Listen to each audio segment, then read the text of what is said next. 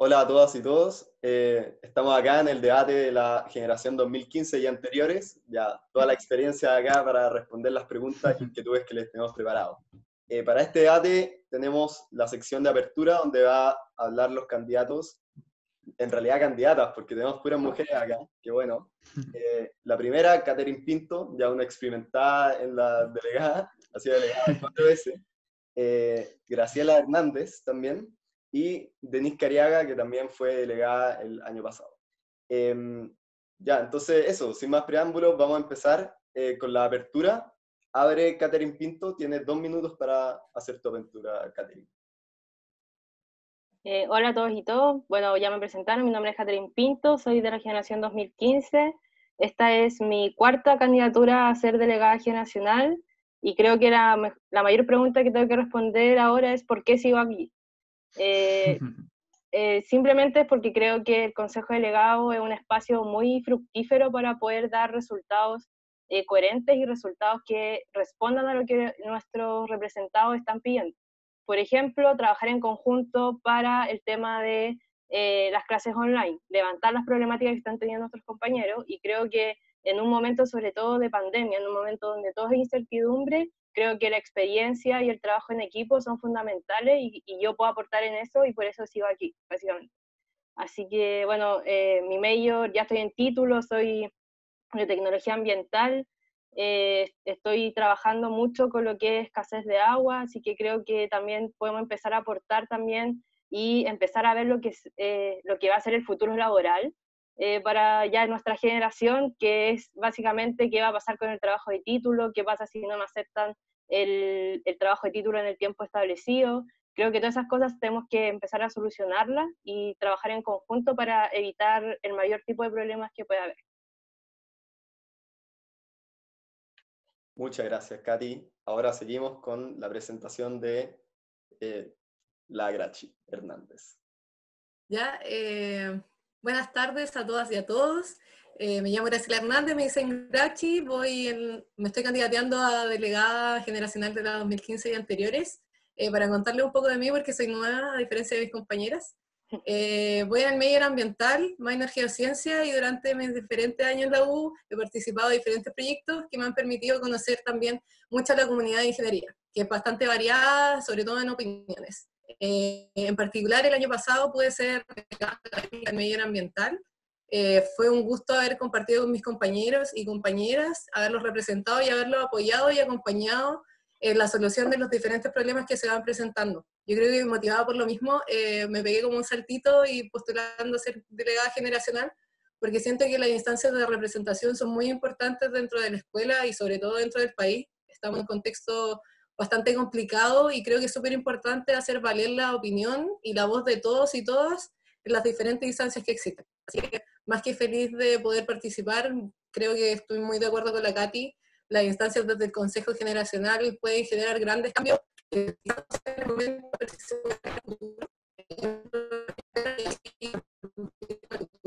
de Chile si somos ambiciosos.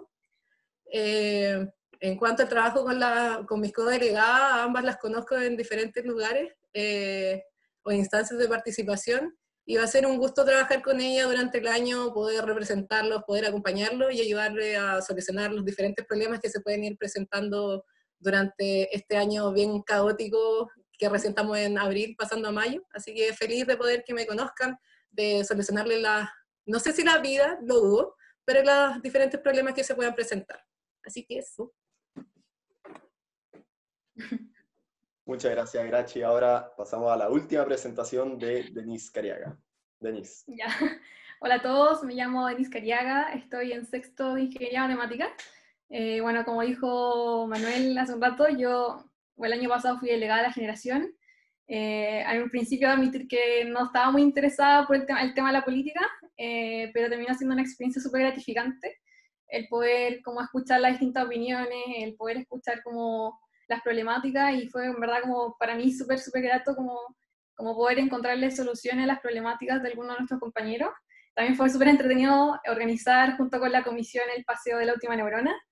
Eh, y nada, al final para los que me conocen, soy una persona súper académica eh, y también por otro lado social. Eh, he participado, he sacado al final el juego como a las distintas actividades extraprogramáticas que nos ofrece la escuela.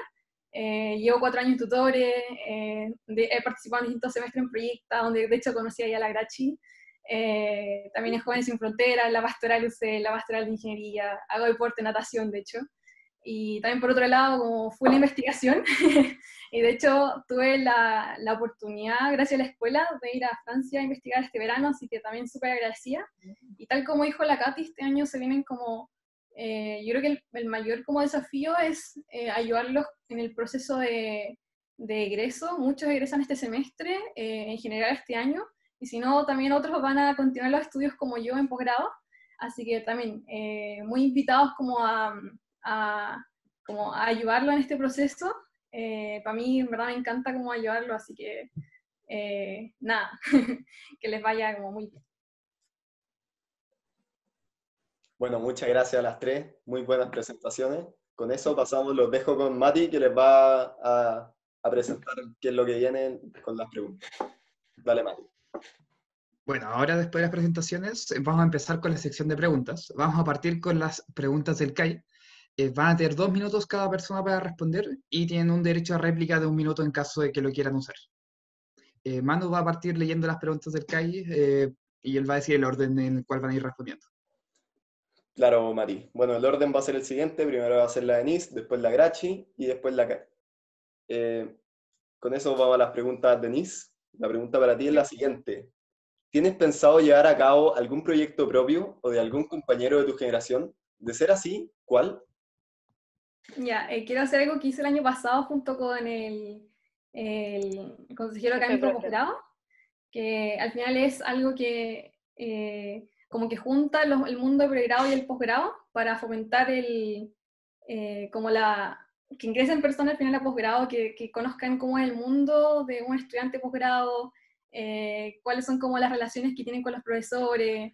Eso lo encuentro como, para mí súper importante porque una de las cosas que me gustaría fomentar como para, para la escuela y también para, para Chile es aumentar la investigación. Entonces, para eso necesitamos gente que en verdad quiera hacerlo y una forma como buena como de conocer cómo es este mundo, cómo es el mundo de la investigación, es tener contacto con los compañeros que están investigando hoy en día. Entonces, esa es una de las cosas que quiero también hacer de nuevo este año. Eh, me gustó mucho cómo hacer el año pasado, fue súper entretenido, así que...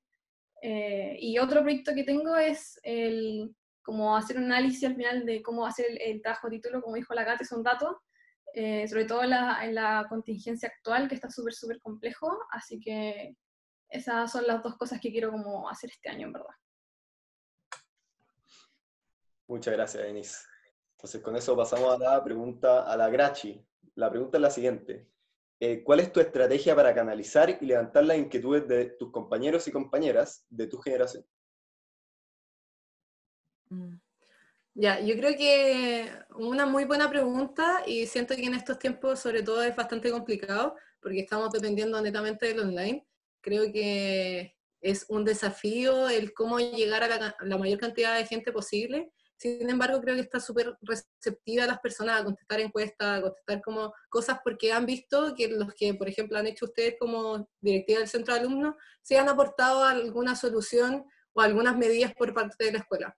Por lo mismo, yo creo que es fortalecer un poco los canales que ya existen, ya sea Instagram mediante encuestas, eh, tratar de correr la voz dentro, nosotros las tres somos de la misma generación, quizás llegar a las generaciones más antiguas vía WhatsApp, vía Instagram, por mail, como la idea es tratar de, de fortalecer los canales que ya existen, apoyarnos con, como, con las diferentes redes sociales que, que, estamos utilizando y poder recopilar la mayor cantidad de información que, que se pueda, y tratar de, de solucionar también de la mejor forma las problemáticas que ya están existiendo y de las que pueden llegar a, existir.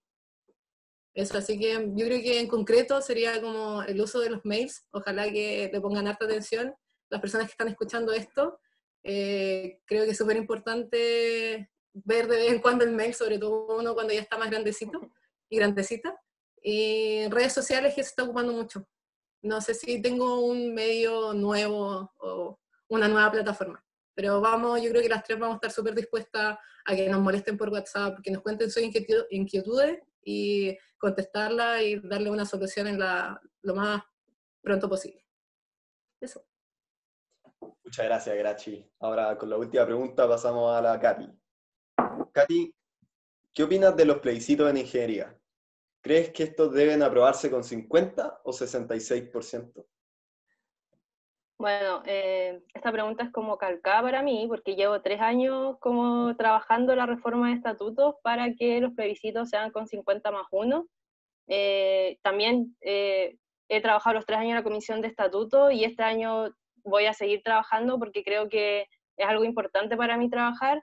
Para mí la representación no puede quedar solo en el Consejo de Delegados y los plebiscitos son súper importantes para ver qué piensa realmente al final ingeniería.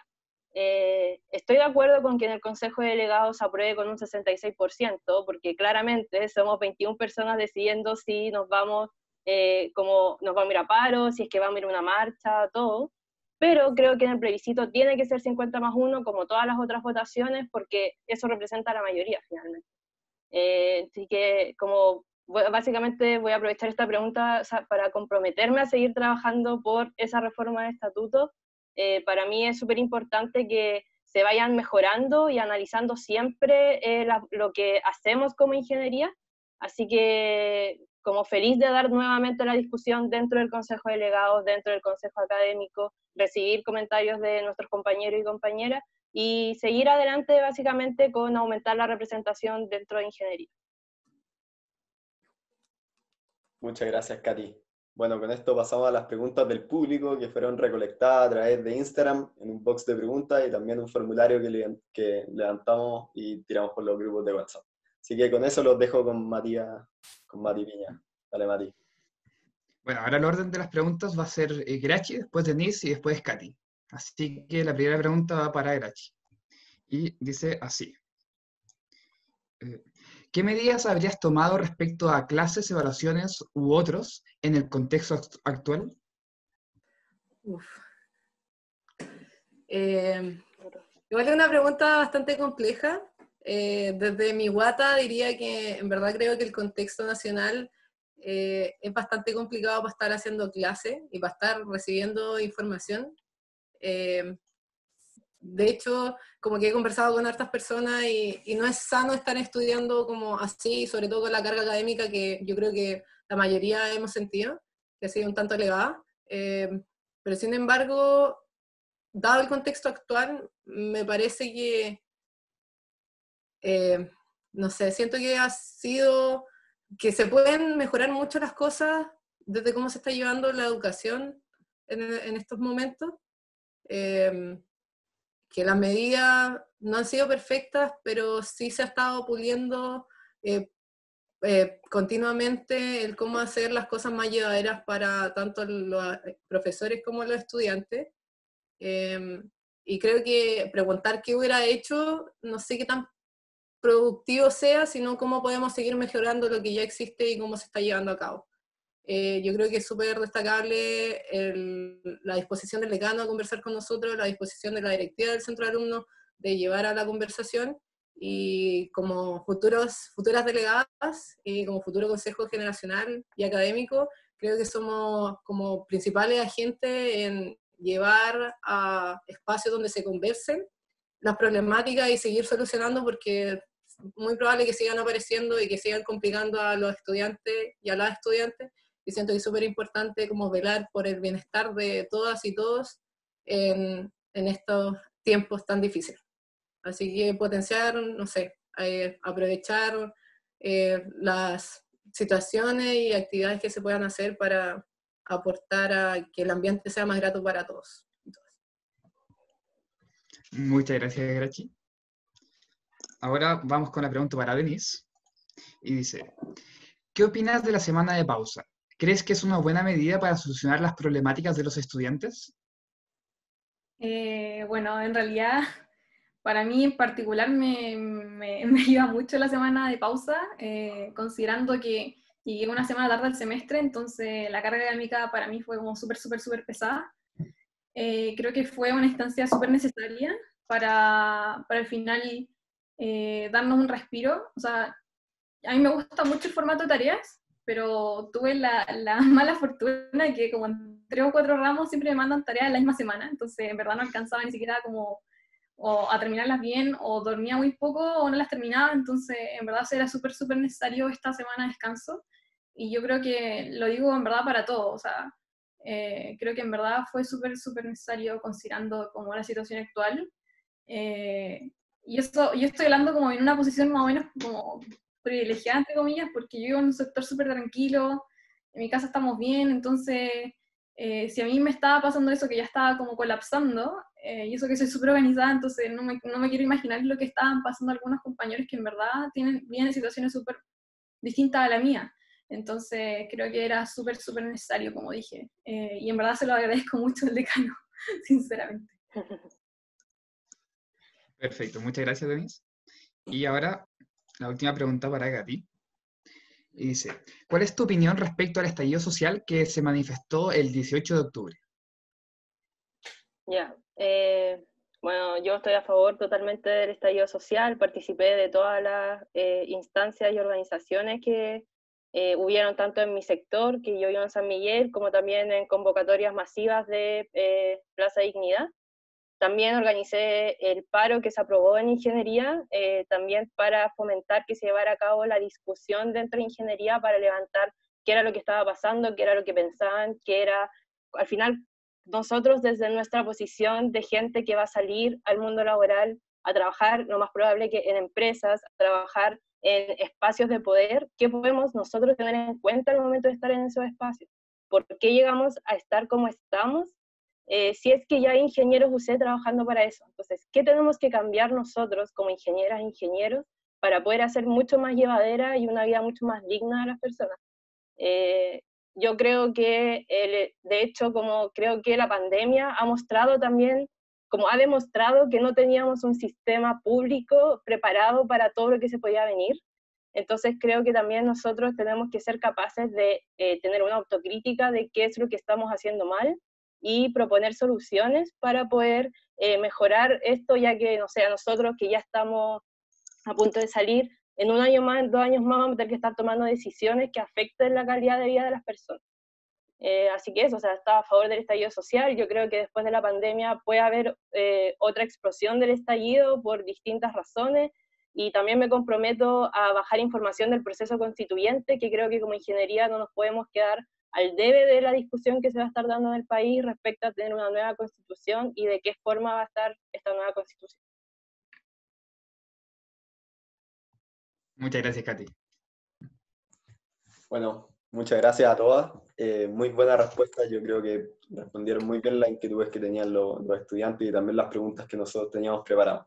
Con esto vamos a la última sección del debate, eh, que son el cierre. El orden es el siguiente, parte la Grachi, después la Katy y por último la Enis. Así que, Grachi, dale con tu cierre. Eh, primero que todo, quiero hacer un llamado a que sigan participando de las diferentes instancias de votación que existen y de regulación de opiniones, sobre todo en esta instancia donde en verdad es súper difícil comunicarse de forma efectiva. Em, así que un llamado que participen sobre todo de estas elecciones de delegados que son este miércoles y este jueves.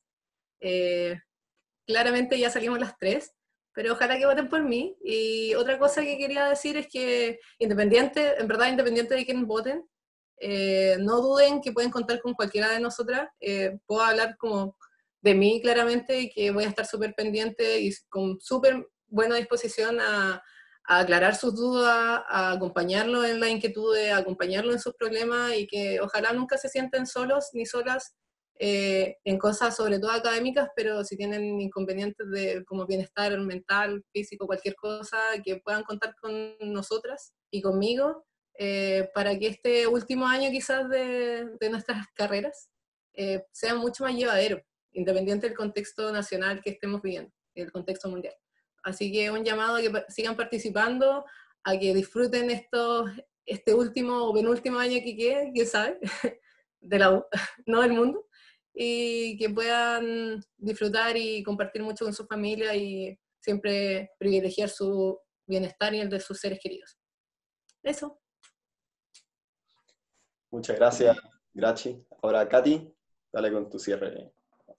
Sí, bueno, eh, más que nada reiterar el llamado a la gracia que participen. Creo que ahora es más que nunca, es cuando ustedes tienen que estar constantemente diciéndonos qué es lo que está pasando, qué es lo que eh, les molesta, qué es lo que les gustaría que les mejoraran, porque al final para eso vamos a estar, para ustedes como para trabajar en, en mejorar todo lo que puede estar mal, ya sea académicamente, ya sea incluso con el tema de las becas, o sea, cualquier cosa que necesiten con el tema de saber con el tema de las becas, yo estoy disponible a que me hablen, a que me cuenten su situación, eh, porque yo he pasado por tener muchas becas, tener muchos créditos, así que como que tengo experiencia en ese tema.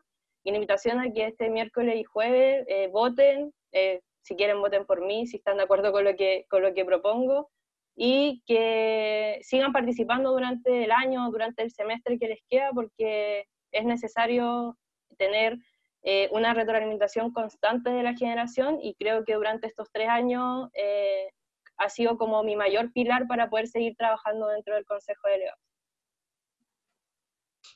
Muchas gracias, Katy. Ahora vamos con, con el último cierre, que es el de la Denise Cariaga. Denise. No quiero repetir lo que ya dijeron las chiquillas, pero quiero sí recalcarles que, que pueden confiar en nosotras, como por favor háganos llegar sus inquietudes, tienen nuestros mails, tienen, tienen el Instagram, eh, al final, como por favor, lleguennos, háganos llegar sus dudas, sus inquietudes. Eh, y yo feliz como ayudarlos en particular en temas de posgrado. Así que eso, cuídense harto, eh, cuídense a su familia, aprovechen esta, este tiempo como para poder estar con ellos también. Y no se olviden de votar este, este miércoles y jueves eh, por los delegados. que les vaya muy bien. Bueno, muchas gracias a todas. de verdad, muy, muy suertudos los de la 2015 que tienen tres mujeres que nos van a representar muy bien. Eh, eso, con eso damos por finalizado este debate. Eh, como ya dijeron las tres candidatas, los invitamos a todos y a todas a votar este miércoles y jueves 29 y 30 de abril. Eh, recuerden que tienen dos votos para dos candidatos generacionales. así que eso, los invito a participar y a sumarse de este proceso eleccionario. Muchas gracias. Chao. Muchas gracias. Chao. Chao.